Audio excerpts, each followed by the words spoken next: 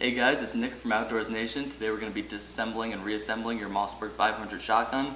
This is done the exact same way with the Mossberg 590 and it's very similar to the Mossberg Maverick and all other Mossberg pump action shotguns. To start, we're going to safety check the gun. Chamber's empty, nothing in the magazine. So at this point, we're going to start by taking off the barrel now.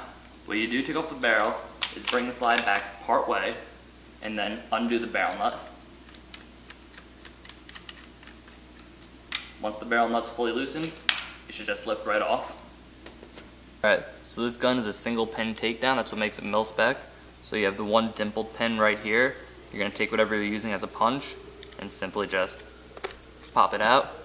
It's going to come out the other side and you can just pull it the rest of the way. Once it's out, your trigger assembly will come right out.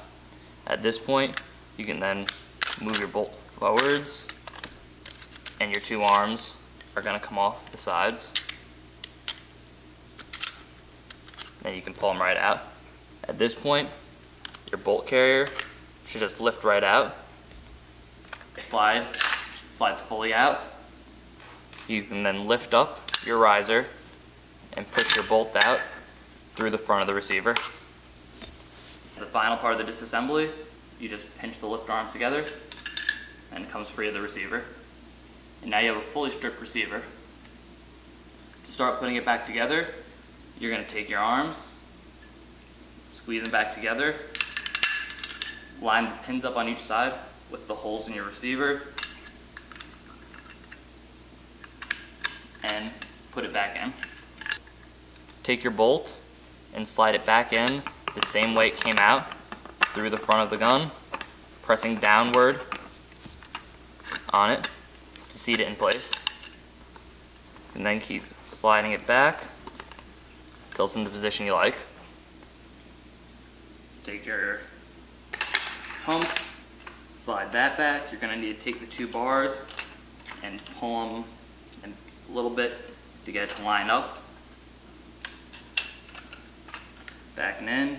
To get it fully back, you may need to pick up, pull down, wiggle some stuff around, but you should be able to eventually work it so it slides back into the gun.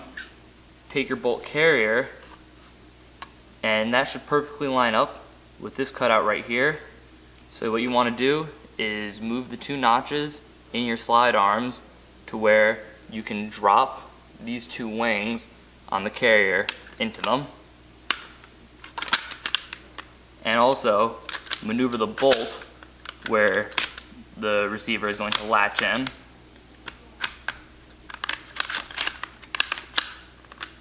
It's hard to see in this angle.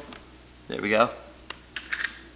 Once it clicks into place like that, you should be able to press down on the carrier and be able to work the action. At this point, you take your bars on the sides, put one in, one has a pin as you can see just like the razors did. That goes in the side. Your other one's gonna go on the other side. Both of them go with the hooks towards the muzzle of the gun. Once they're in, you gotta keep them balanced in there while you do this. Take your trigger grouping, front in first, let it go in, keep forwards pressure as you press it down and in. Take your pin, press it back into place. Now the action works. You're gonna put the slide back and then halfway again. Drop your barrel straight back on. Screw it back down.